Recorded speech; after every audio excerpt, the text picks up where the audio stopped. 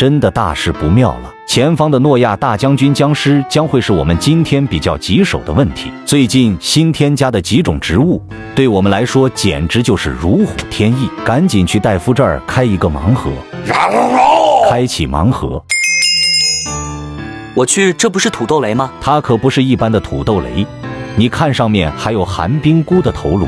我们现在就来一个，看看它的效果如何吧。强哥，不得不说你的运气也太好了。赶紧在后面种上三生向日葵，先稳稳发育一手吧。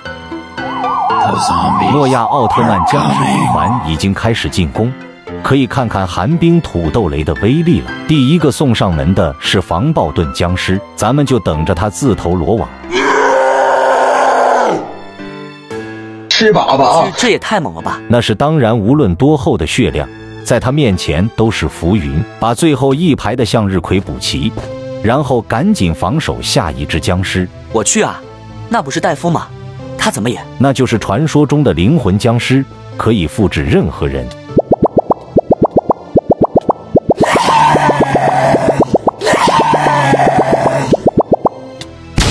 轻松拿下。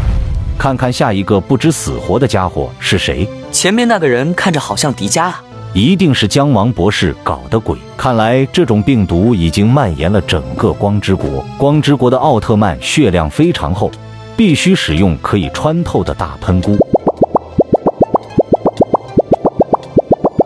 咱们也是成功的拿下了，抓紧去大门布置最后一波的防御。这是经过我改装的高坚果。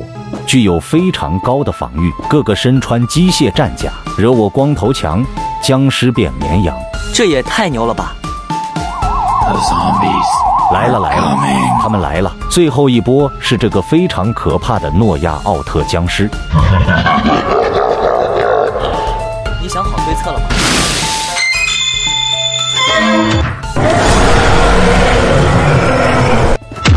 强哥，快想想办法！先用大喷菇吸引他的火力，接下来由其分手。玉米加农炮会替我说话，它不仅伤害非常爆炸，玉米棒子还能将它冻结在原地。再给他安排上第四魔王的套餐。哇塞，强哥你也太有实力了吧！低调低调，挥手不是抱歉，而是老弟你还是在。